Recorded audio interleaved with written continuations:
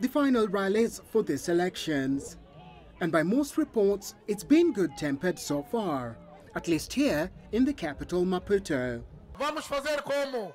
Já, já. Filipe Nyusi is the candidate for the ruling party Frelimo and favorite to succeed Armando Guebuza as president. And this certainly feels more like a victory party than a last-minute pitch for votes.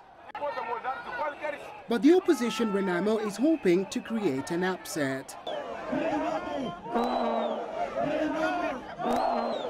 Or at least win a little more influence in Mozambique. It lost the bloody 17-year-old civil war that ended in 1992 and resumed hostilities two years later. Its candidate Afonso Dhlakama agreed only last month to a ceasefire and to take part in the spoil.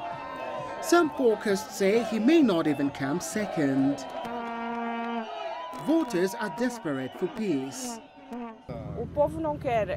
I was really young during the war, but I have memories of what happened during the war. I was about eight years old at that time. I went through a lot during the war. We do not want war anymore. We want to see the country developing.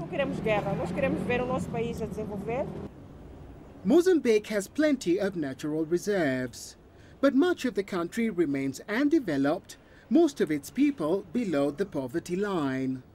So come Wednesday, many are hoping their vote will create a government that can boost growth and create much needed employment for millions. Robert Nagila, CCTV, Nairobi, Kenya.